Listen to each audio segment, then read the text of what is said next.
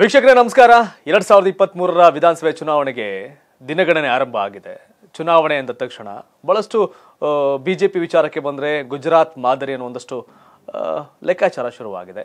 ಜೊತೆಗೆ ಹೊಸ ತಲೆಮಾರಿನ ರಾಜಕಾರಣ ಕೂಡ ಶುರುವಾಗಿರ್ತಕ್ಕಂಥದ್ದು. ರಾಜಕಾರಣ ಅಂದಾಗ ಪಾಳೆಗಾರರು, ಅವರೇ ರಾಜಕಾರಣ, ಅದೇ ಫ್ಯಾಮಿಲಿ ರಾಜಕಾರಣ. ಎಂ ಎಲ್ ಎ ಮಗ ಎಂ ಎಲ್ ಎ ನಿಲ್ಲೋದು, ಮಿನಿಸ್ಟರ್ ಮಗ, ಇಲ್ಲ ಈ ಥರದ್ದು ಅನ್ನೋ ಸನ್ನಿವೇಶಗಳ ನಡುವೆ ಹೊಸಬರ ಎಂಟ್ರಿ ಆಗ್ತಾ ಇದೆ. ಬಿಜೆಪಿ ಎಂದ ಪಕ್ಕ ತಕ್ಷಣ ನಾಟ್ ಓನ್ಲಿ ಬಿಜೆಪಿ ಅಲ್ಲ ಸಂಘ ಪರಿವಾರದ ಹಿನ್ನೆಲೆ ಮತ್ತೆ ಹಿಂದುತ್ವದ ಹಿನ್ನೆಲೆ ಮತ್ತೆ ದೇಶಾಭಿಮಾನ ಈ ಎಲ್ಲ ಲೆಕ್ಕಾಚಾರದಲ್ಲೂ ಭಾಗಿಯಾದವರು ಸಹ ಬಿಜೆಪಿಯ ಟಿಕೆಟ್ ನಿರೀಕ್ಷೆಯಲ್ಲಿದ್ದಾರೆ. ಹಾಗೆ ನನ್ನ ಜೊತೆ ಇವತ್ತು ರಾಷ್ಟ್ರಧರ್ಮ ಇದು ಎಲ್ಲೋ ಕೇಳಿರ್ತೀರಿ ಇಡೀ ಕರ್ನಾಟಕದಾದ್ಯಂತ ದೇಶದ ಬಗ್ಗೆ ಧರ್ಮದ ಬಗ್ಗೆ ಚಿಂತನೆಗಳನ್ನ ಹೇಳುವಂತ ರಾಷ್ಟ್ರಧರ್ಮದ ಮುಖ್ಯಸ್ಥರಿಗೆ ನನ್ನ ಜೊತೆ ಇದ್ದಾರೆ. ಸಂತೋಷ್ ಕೆಂಚಾಂಬ ಅವರು ಬಿಜೆಪಿ ಮುಖಂಡರು ಬೇಲೂರು. ಸರ್ ನಮಸ್ಕಾರ. ಕಾರ್ಯಕ್ರಮಕ್ಕೆ ಸ್ವಾಗತ. ಏನು ಸಮಾಚಾರ? ನಾನು ಇಷ್ಟು ಇಂಟ್ರೊಡ್ಯೂಸ್ ಮಾಡಿದೆ. ಬೇರೆ ಆಗಿ. ಸಂತೋಷ್ ಕೆಂಚಾಂಬ ಅವರು. ಬಹಳಷ್ಟು ಜನ ಹೆಸರು ಹೆಸರನ್ನು ಕೇಳಿರ್ತಾರೆ. ಈ ಸೋಷಿಯಲ್ ಮೀಡಿಯಾ ಜಗತ್ತಲ್ಲಿ ತಮ್ಮದೇ ಆದಂಥ ಶೈಲಿಯಲ್ಲಿ ವಿಷಯಗಳನ್ನ ಮಣ್ಣೆ ಮಾಡ್ತಾ ಹೋಗ್ತಾ ಇದ್ದೀರಿ. ಇದೀಗ ಬೇಲೂರು ವಿಧಾನಸಭಾ ಕ್ಷೇತ್ರ. ಏನು ಲೆಕ್ಕಾಚಾರ? ಯಾವ ಕಾರಣಕ್ಕೆ? ಒಂದು ಬೇಲೂರು ಅಂದ ತಕ್ಷಣ ಎರಡು ವಿಚಾರದಲ್ಲೂ ಮಾತಾಡೋಣ. ಫಸ್ಟ್ ರಾಜಕಾರಣ ಯಾಕೆ ಅಂತ ಓಕೆ ಆ- ಆ ನಿಮ್ಮ ಆ ಪ್ರಶ್ನೆಯಲ್ಲಿ ಎರಡು ಅಡಗಿದೆ ಹಾಗೆ ಖಂಡಿತ. ಸೊ ಒಂದು ರಾಜಕಾರಣ ಯಾಕೆ? ಹಾ. ರಾಜಕಾರಣಕ್ಕೆ ಬೇಲೂರು ಯಾಕೆ? ಓಕೆ ಒಂದು ರಾಜಕಾರಣದ ಒಬ್ಬ ಇವತ್ತು ರಾಜಕಾರಣ ಎಲ್ಲ ಕ್ಷೇತ್ರದಲ್ಲೂ ರಾಜಕಾರಣನ ತ- ಬೇರ್ಪಡಿಸೋಕ್ಕಾಗೋದೇ ಇಲ್ಲ. ಅದರಲ್ಲೂ ಒಂದು ಡೆಮೊಕ್ರೆಟಿಕ್ ಸೊಸೈಟಿಯಲ್ಲಿ ಪ್ರಜಾಪ್ರಭುತ್ವದ ಅಡಿಪಾಯದಲ್ಲಿ ಇರುವಂಥ ಯಾವುದೇ ದೇಶದಲ್ಲೂ ರಾಜಕಾರಣ plays a role in everything ಅದು ಬಿಸ್ನೆಸ್ ಇರ್ಬೋದು ಯಾವುದೇ ಇದರಲ್ಲೂ ಇರ್ಬೋದು. ಹಾಗಾಗಿ ನಾನೊಬ್ಬ ಪೊಲಿಟಿಕಲ್ ಸ್ಟೂಡೆಂಟ್ ಅಂತ ಹೇಳ್ಬೋದು. ಅನೇಕ ಸಮಯದಲ್ಲಿ ನಾನು ಅದನ್ನ ಒಪಿನಿಯಂಟೆಡ್ ಆಗಿ ಮಾತಾಡಿರುವಂತ ಸಂಗತಿಗಳಿದಾವೆ. ಒಂದು ಭ್ರಷ್ಟಾಚಾರದ ವಿರುದ್ಧವಾಗಿರ್ಬೋದು ಅಥವಾ ಡೆವಲಪ್ಮೆಂಟಿನ ವಿಚಾರದಲ್ಲಿ ಕರ್ನಾಟಕದ ಬಗ್ಗೆ ಆಳವಾದ ಒಂದು ಪ್ರೀತಿ ಒಂದು ಪ್ರತಿಯೊಬ್ಬ ಕರ್ನಾಟಕದ ಪ್ರಜೆ ಹಂಗೆ ನನಗೂ ಕೂಡ ಒಂದು ಆಳವಾದ ಪ್ರೀತಿ ಹಾಗೂ ಒಂದು ಅಭಿಮಾನ. ಹಾಗೂ ಈ ಸಂಪನ್ಮೂಲಗಳನ್ನ ನೋಡಿದ್ರೆ ನಮ್ಮ ಕರ್ನಾಟಕದಲ್ಲಿರುವ ಸಂಪನ್ಮೂಲ ನಾನು ಅನೇಕ ಕಡೆ ತಿರುಗಾಡಿದ್ದೀನಿ. ಇಂಥ ಒಂದು ವೈವಿಧ್ಯಮಯವಾದ ಸಂಪನ್ಮೂಲವನ್ನ ನಾವು ನಿಜವಾಗ್ಲೂ ಒಂದು ಮಾನವನ ಒಳಿತಿಗಾಗಿ ನಮ್ಮ ದೇಶದ ಪ್ರಗತಿಗಾಗಿ ಇನ್ನೂ ಒಂದು ದೊಡ್ಡ ಮಟ್ಟದಲ್ಲಿ ಬದಲಾವಣೆ ತರಬಹುದಲ್ಲ ಅನ್ನೋ ಒಂದು ಆಸಕ್ತಿ. ಹಾಗೂ ಇದು ಮುಂಚೆಯಿಂದನೇ ಇತ್ತು. ಯಾವಾಗ ನಮ್ಮ ನರೇಂದ್ರ ಮೋದಿ ಅವರು ಒಬ್ಬ ಸಾಮಾನ್ಯ ಚಾವ ಚಾಯ್ವಾಲ ಒಬ್ಬ ದೇಶದ ಪ್ರಧಾನಮಂತ್ರಿ ಆದರು ಹಾಗೂ ಎಲ್ಲರ ಜನಬೆಂಬಲವನ್ನ ಬರೀ ಅಭಿವೃದ್ಧಿಯ ಒಂದು ಘೋಷಣೆಯಲ್ಲಿ ಅಭಿವೃದ್ಧಿಯನ್ನೇ ಒಂದು ಘೋಷವಾಕ್ಯವಾಗಿ ಇಟ್ಕೊಂಡು ಅಭಿವೃದ್ಧಿಯನ್ನು ಮಾಡಿ ಮತ್ತೆ ಆಯ್ಕೆ ಆಗುವಂತ ಒಂದು ವಾತಾವರಣವನ್ನು ನಾನು ನೋಡಿದಾಗ, ಇಲ್ಲಪ್ಪ, ನಾನು ಕೂಡ ರಾಜಕಾರಣದ ಒಳಗಡೆ ಹೋಗಿ ದೊಡ್ಡ ಮಟ್ಟದ ಬದಲಾವಣೆಯನ್ನು ತರಕ್ಕೆ ಸಾಧ್ಯ ಇದೆ. ಇವತ್ತಿನ ಯೋಚನೆಗಳು ನರೇಂದ್ರ ಮೋದಿ ಅವರಂತ ಒಂದು ನಾಯಕತ್ವ ನಮಗೆ ಒಂದು ಪ್ರೇರಣೆ ಆಯಿತು. ಹಾಗಾಗಿ ರಾಜಕಾರಣದ ಒಳಗೆ ಹೋಗಿ ಏನಾರ ಒಂದು ಪ್ರಜಾಪ್ರಭುತ್ವದಿಂದ ಜನರ ಜೀವನವನ್ನ ಬದಲಾಯಿಸುವ ನಿಟ್ಟಿನಲ್ಲಿ ಕೆಲಸ ಮಾಡೋಣ ಅನ್ನೋ ಒಂದು ಇಚ್ಛೆಯಿಂದ ರಾಜಕಾರಣವನ್ನು ಎಂಟ್ರಾದ್ವಿ. ಇನ್ನು ಬೇಲೂರು ಯಾಕೆ? ಒಂದು, ಬೇಲೂರು ನಮ್ಮ ಊರು, ನಮ್ಮ ಕ್ಷೇತ್ರ, ಹಾಸನ ಜಿಲ್ಲೆ, ನನ್ನ ನನ್ನ ಹುಟ್ಟ ಕ್ಷೇತ್ರ. ಹಾಗಾಗಿ ಒಂದು ಒಡನಾಟ ಮುಂಚೆಯಿಂದನೂ ಇದೆ.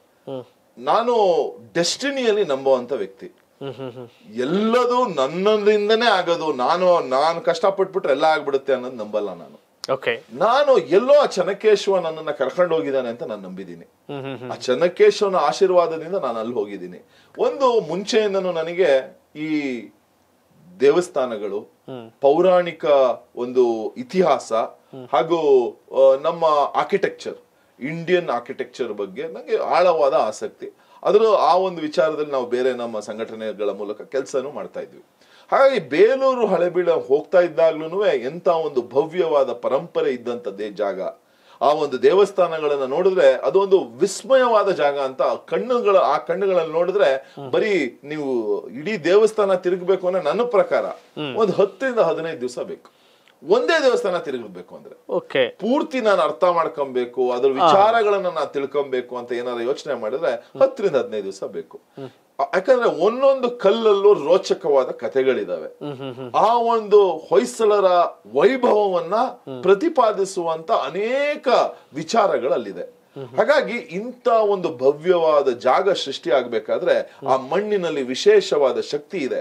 ಆ ವಿಶೇಷವಾದ ಶಕ್ತಿಯನ್ನ ಮತ್ತೆ ಆ ಹೊಯ್ಸಳರ ಹಿರಿಮೆಯ ಪರಿಸ್ಥಿತಿ ಏನಿತ್ತು ಆ ಹಿರಿಮೆಯ ಒಂದು ಜಾಗಕ್ಕೆ ತಗೊಂಡು ಹೋಗೋ ಅಂತ ಒಂದು ಶಕ್ತಿ ರಾಜಕೀಯದಲ್ಲಿ ಇದೆ ಹಾಗಾಗಿ ರಾಜಕೀಯ ಶಕ್ತಿಯ ಮೂಲಕ ಬೇಲೂರಿನ ಸೇವೆ ಮಾಡಬೇಕು ಅನ್ನೋ ನಿಟ್ಟಿನಲ್ಲಿ ಬೇಲೂರಿಗೆ ನಾವು ನನ್ನ ರಾಜಕೀಯ ಭವಿಷ್ಯವನ್ನು ಹುಡುಕೋಕ್ಕೋಸ್ಕರ ಬೇಲೂರನ್ನ ಆಯ್ಕೆ ಮಾಡಿದ್ವಿ.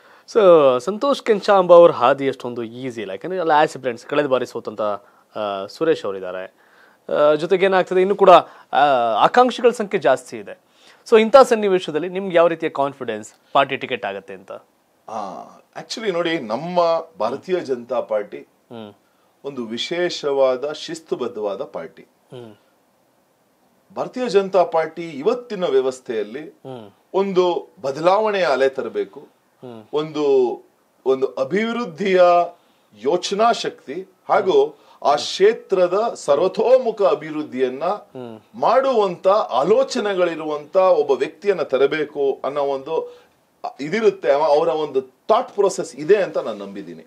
ಇವತ್ತಿನ ವ್ಯವಸ್ಥೆಯಲ್ಲಿ ನೋಡಿದ್ರೆ ನಮ್ಮ, ಅದರಲ್ಲೂ ನಮ್ಮ ಮೋದಿಯವರ ಒಂದು ಯೋಚನೆಗಳನ್ನ ನಾವು ಸೂಕ್ಷ್ಮವಾಗಿ ಗಮನಿಸಿದ್ರೆ ಆ ತರ ಅನ್ಸುತ್ತೆ ನಮಗೆ.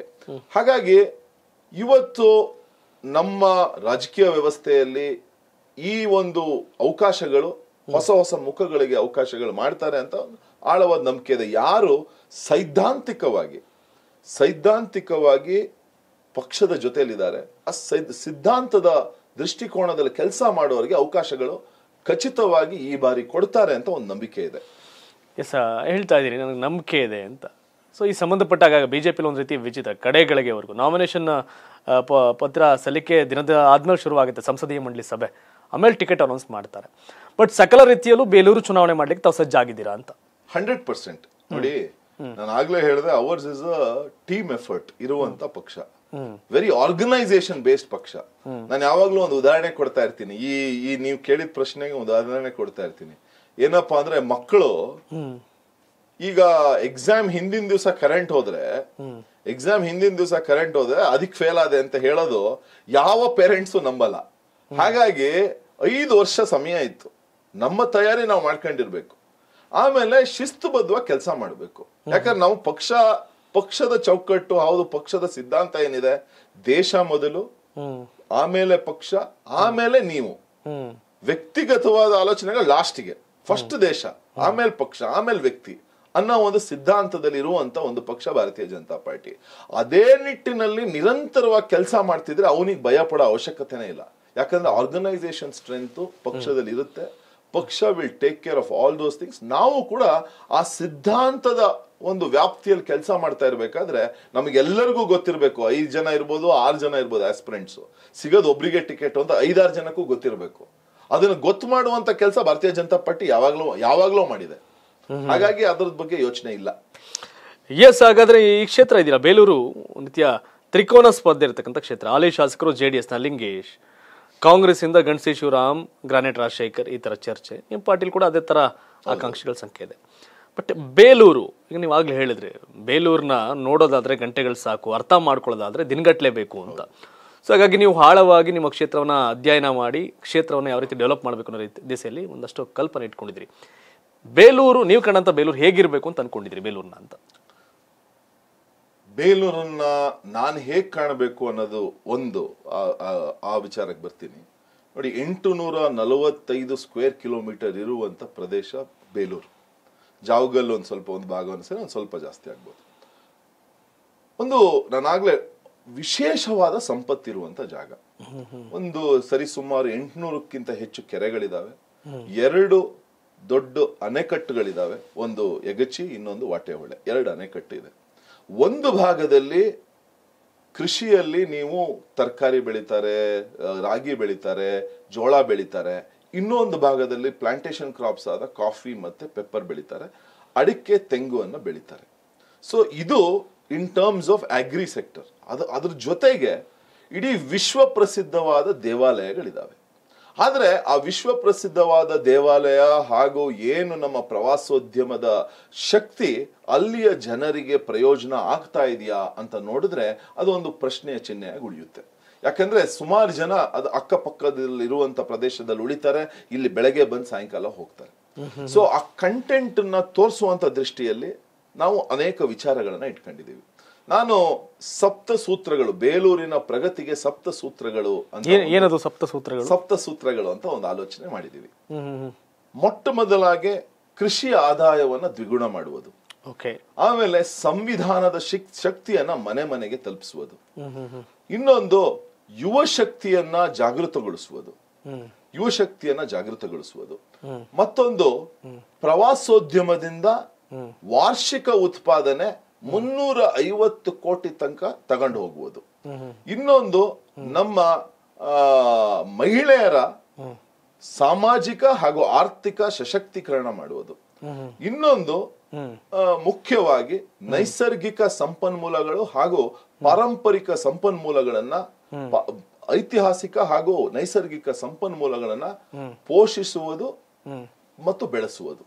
ಇದಿಷ್ಟು ನಮ್ಮ ಒಂದು ವಿಶೇಷವಾದ ಸಪ್ತ ಸೂತ್ರಗಳು ಎಸ್ ಇವೆಲ್ಲ ಸಪ್ತ ಸೂತ್ರಗಳನ್ನ ಜನಗಳು ತಿಳಿಸ್ತಾ ಇದ್ದೀರಾ? ಏನಂತಾರೆ ಬೇಲೂರು ಜನ?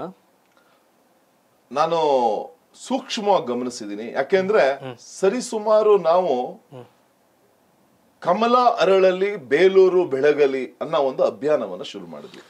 ಓಕೆ ಕಮಲ ಅರಳಲಿ ಬೇಲೂರು ಬೆಳಗಲಿ. ಇದೇನಪ್ಪ ಅಂದ್ರೆ ಪ್ರತಿ ಮನೆಯನ್ನ ಎಷ್ಟಾಗುತ್ತೆ ಅಷ್ಟು ಮನೆಗಳನ್ನ ತಲುಪುವ ಒಂದು ಪ್ರಯತ್ನ. ಇಲ್ಲಿ ತನಕ ಒಂದು ಆರು ಸಾವಿರ ಮನೆಗಳನ್ನ ಮನೆ ಮನೆಗೆ ಭೇಟಿ ಕೊಟ್ಟಿದ್ದೀನಿ. ಮನೆ ಮನೆಗೆ ಭೇಟಿ ಕೊಟ್ಟಿದ್ದೀನಿ. ಕ್ಷೇತ್ರದ ಹಲವಾರು ಹಳ್ಳಿಗಳಲ್ಲಿ ಮನೆ ಮನೆಗೆ ಭೇಟಿ ಕೊಟ್ಟಿದ್ದೀನಿ. ನಿಜವಾಗ್ಲೂ ಕೂಡ ಮತದಾರರಲ್ಲಿ ಒಂದು ಅಭಿವೃದ್ಧಿಯ ದಿಕ್ಸೂಚಿಯನ್ನ ಇಟ್ಕೊಂಡ್ಬರುವಂತ ನಾಯಕತ್ವಕ್ಕೆ ಸ್ಪಂದಿಸುವಂತ ಎಲ್ಲ ಆಸೆಗಳು, ಆಕಾಂಕ್ಷೆಗಳು ಅಲ್ಲಿಯ ಮತದಾರರಲ್ಲಿದೆ. ಎಲ್ಲರಿಗೂ ಈ ಒಂದು ಭೂಮಿಯಲ್ಲಿ ನಾವೆಲ್ಲರೂ ಸ್ವಾಭಿಮಾನಿಗಳಾಗಿ ಬದುಕುವಂತ ಈ ಭೂಮಿಯ ಒಂದು ಆಶೀರ್ವಾದ ನಮಗಿದೆ. ಅದನ್ನ ನಮಗ್, ನಮ್ಮ ತನಕ ತಲುಪಿಸುವಂತ ನಾಯಕತ್ವ ಬೇಕು ಅನ್ನೋ ಒಂದು ವಿಚಾರ ನನಗೆ ತಿಳಿದು ಬರುತ್ತೆ. ಹಾಗಾಗಿ ಯಾರು ಅಭಿವೃದ್ಧಿಯ ದೃಷ್ಟಿಕೋನದಲ್ಲಿ ಎಲ್ಲರನ್ನೂ ಜೊತೆಗೆ ತಗೊಂಡು ಹೋಗುವಂತ ಒಂದು ದೃಷ್ಟಿಕೋನದಲ್ಲಿ ಆ ಇನ್ನೊಂದು ಆ ಸಪ್ತ ಸೂತ್ರಗಳಲ್ಲಿ ವಿಶೇಷವಾಗಿ ಮರ್ತಿದ್ದಂತಲ್ಲ ಒಂದು ಸೂತ್ರ ಮರ್ತೆ ಅದರಲ್ಲಿ. ಯಾವ್ದದು? ಏನಪ್ಪಾ ಅಂದ್ರೆ ಪಾರ್ಟಿಸಿಪೇಟಿವ್ ಡೆಮೋಕ್ರಸಿ ಪಾರ್ಟಿಸಿಪೇಟಿವ್ ಡೆಮೋಕ್ರಸಿ ಅಂದ್ರೆ ಏನು ಪ್ರಜಾಪ್ರಭುತ್ವದಲ್ಲಿ ಎಲ್ಲರನ್ನು ಜೊತೆಗೆ ತಗೊಂಡು ಹೋಗುವಂತ ಡೆಮೋಕ್ರಸಿ ಹಾಗೂ ಪಾರದರ್ಶಕವಾದ ಒಂದು ಡೆಮೋಕ್ರಸಿಯನ್ನ ತರಬೇಕು ಅನ್ನೋ ಒಂದು ದೃಷ್ಟಿಕೋನ. ಅದು ತಂತ್ರಜ್ಞಾನವನ್ನು ಉಪಯೋಗಿಸಿ ತಂತ್ರಜ್ಞಾನವನ್ನು ಉಪಯೋಗಿಸಿ ಎಲ್ಲವನ್ನು ಇವತ್ತಿನ ಇವತ್ತಿನ ಜಗತ್ತಿನಲ್ಲಿ ತಂತ್ರಜ್ಞಾನ ಇವೆಲ್ಲ ನಾನು ಏನೇನು ಸಪ್ತ ಸೂತ್ರಗಳು ಹೇಳಿದ್ದೀನಿ ಅವು ಎಲ್ಲದರಲ್ಲೂ ಯೋಚನೆ ಮಾಡಬಹುದು ಅದು ಎಲ್ಲದರಲ್ಲೂ ಅದನ್ನ ಜೋಡಿಸ್ಕೊಂತ ಬರ್ಬೋದು. ಆವಾಗ ಒಂದು ದೊಡ್ಡ ಮಟ್ಟದ ವ್ಯಾಪಕವಾದ ಬದಲಾವಣೆ ತರಬಹುದು ಅದನ್ನ ಜನರ ಮುಂದೆ ತಗೊಂಡೋಗಿ ನಾನು ಹೇಳಿದಾಗ ನಿಜವಾಗೂ ಕೂಡ ಒಂದು ವಿಶೇಷವಾದ ಸ್ಪಂದನೆ ಸಿಗುತ್ತೆ. ನಿಜವಾಗ್ಲೂ ನಮಗೆ ಈ ತರದ ನಾಯಕತ್ವ ಬೇಕು ಅನ್ನೋದು ಎಷ್ಟೋ ಕಡೆ ನನಗೆ ಅದು ಭಾಸವಾಗಿದೆ. ಎಸ್ ಬಹಳ ಸ್ಪಷ್ಟವಾಗಿ ನಿಮ್ಮ ಕನಸಿನ, ಅಂದರೆ ಭವಿಷ್ಯದ ಬೇಲೂರು ಬಗ್ಗೆ ಸ್ಪಷ್ಟವಾಗಿ ಹೇಳ್ತಾ ಇದ್ದೀರಿ. ಬಟ್ ಇವತ್ತಿನ ರಾಜಕಾರಣದ ವ್ಯವಸ್ಥೆಯಲ್ಲಿ ನೀವು ರಾಷ್ಟ್ರ ಧರ್ಮ ಇದಾಗ್ಬೋದು ಲೈಕ್ ಸಂಘಟನಾತ್ಮಕವಾಗಿ ಆಲೋಚನೆ ಮಾಡ್ತಾ ಬರ್ತಾ ಇದ್ದೀರಿ. ಹಣಬಲವೇ ಪ್ರಾಮುಖ್ಯತೆ ಪಡೆದಿರೋ ಸಂದರ್ಭದಲ್ಲಿ ಚುನಾವಣೆ ಮಾಡೋದು ಈಸಿನಾ, ಸಾಧ್ಯ ಆಗುತ್ತಾ ಅಂತ? ಎಷ್ಟು ಎಷ್ಟು ಮಟ್ಟಿಗೆ ಅದು ಪ್ರಭಾವ ಬೀರುತ್ತೆ ಅಂತ ಹೇಳ್ಕೊತೀರಿ. ನಾ ನಾ ಬಹುತೇಕ ಕಡೆ ಆ ಥರ ಇದೆ ಅಂತಿದೆ. ಆಗಲೇಬಾರ್ದು ಅಂತೇನಿಲ್ಲ ನೋಡಿ ಬದಲಾವಣೆ ಆಗುತ್ತಾ? ಬೇಲೂರು ಜನ ಅದಕ್ಕೆ ಒಕ್ಕೋತಾರ? Hundred percent hundred percent. ದುಡ್ಡೇ ಗೆಲ್ಲದಾದ್ರೆ ನಮ್ ಕೆ ಜಿ ಎಫ್ ಬಾಬುನು ಗೆಲ್ಬೇಕಿತ್ತು. ಅಲ್ವಾ? ಈಗ ನೋಡಿ ಏನಾಗುತ್ತೆ ಅಂದ್ರೆ ದುಡ್ಡು ದುಡ್ಡು ಅದೊಂದು ಪರ್ಸೆಪ್ಷನ್ ಕ್ರಿಯೇಟ್ ಮಾಡಿದ್ದಾರೆ. ಆ ಪರ್ಸೆಪ್ಷನ್ ಅನ್ನ ತೆಗೆಯುವ ಪ್ರಯತ್ನ ಜನರ ಜೊತೆ ಹೋಗ್ಬಿಟ್ಟು ತೆಗಿಬೇಕು ಅದನ್ನ. ಆಚೆ ಕಡೆ ನಿಂತ್ಕೊಂಡು ಹೇಳಿದ್ರೆ ತೆಗಿಯಲ್ಲ ತೆಗಿಯಕ್ಕಾಗಲ್ಲ. ನಾವು ಜನರನ್ನು ಬ್ಲೇಮ್ ಮಾಡಕ್ಕಾಗಲ್ಲ. ಯಾಕಂದ್ರೆ ಇವತ್ತು ಮಾತಾಡೋದು ಎಲ್ಲರೂ ಕಲ್ತಿದ್ದಾರೆ ಮೈಕ್ ಮುಂದೆ. ನಿಜವಾಗಲೂ ಇವನಲ್ಲಿ ಆ ಶಕ್ತಿ ಇದೆಯಾ? ನಮ್ಮ ಜೊತೆ ಸ್ಪಂದಿಸಿ ಇವನು ಕೆಲಸ ಮಾಡ್ತಾನ? ನಮಗೆ ಇವನು ನಮ್ಮ ಒಂದು ಕೂಗಿಗೆ ಸಿಗುವಂತ ಒಬ್ಬ ಪ್ರತಿನಿಧಿ ಆಗ್ತಾನ ಇವನು?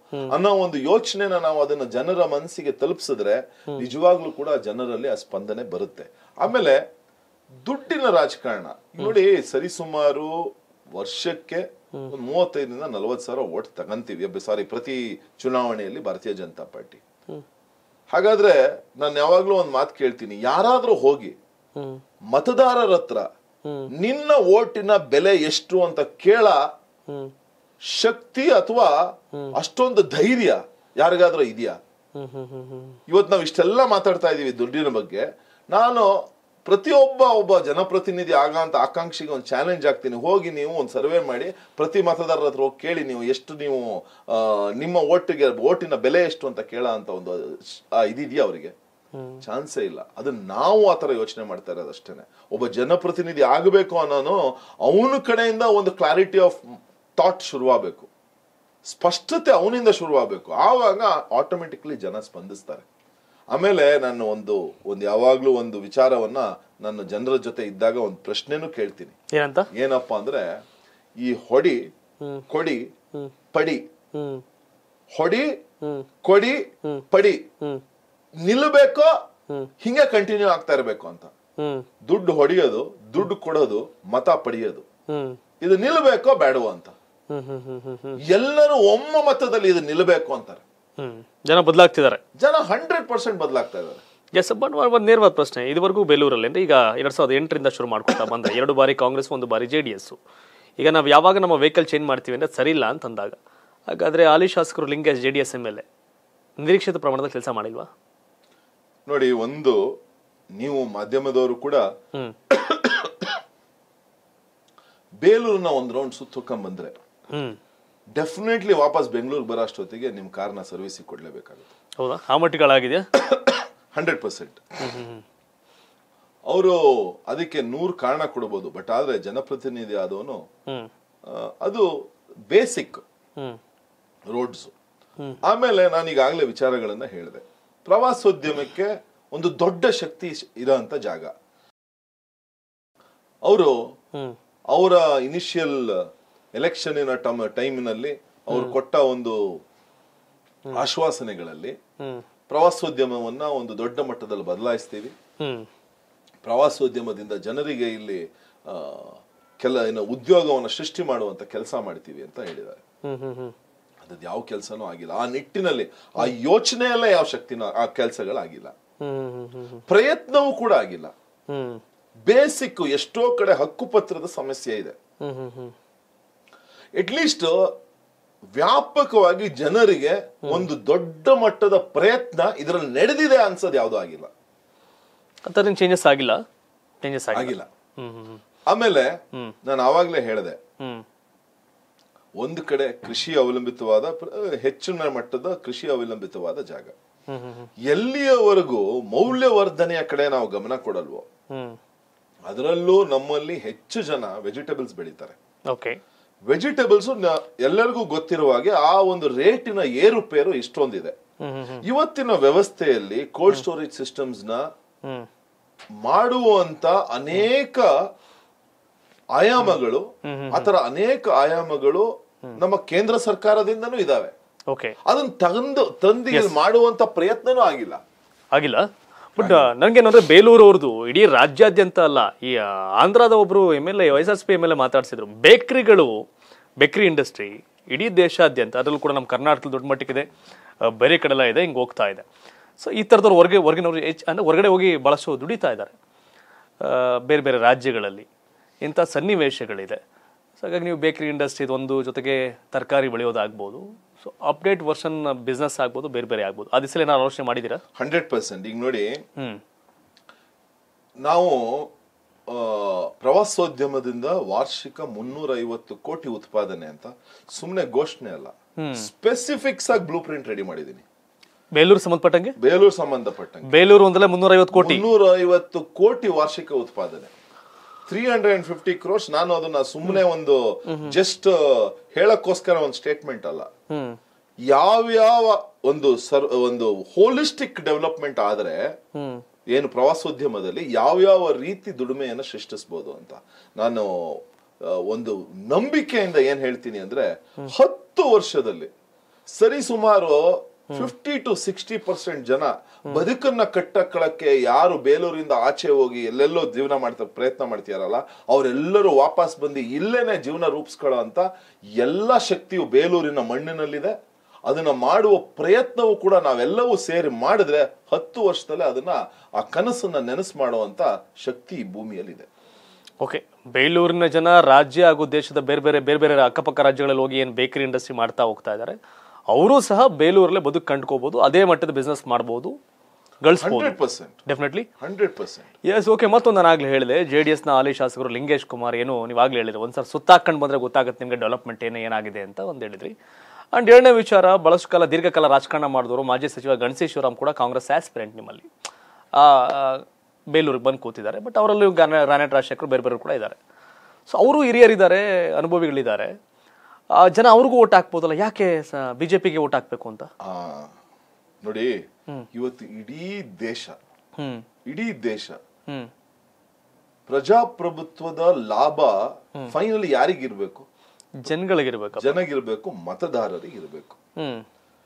ಏಳು ವರ್ಷದಲ್ಲಿ ಹ್ಮ್. ಬರೀ ಏಳು ವರ್ಷದಲ್ಲಿ ಎಪ್ಪತ್ತ ನಾಲ್ಕು ಏರ್ಪೋರ್ಟ್ಗಳು ಮಾಡ್ತಾರೆ.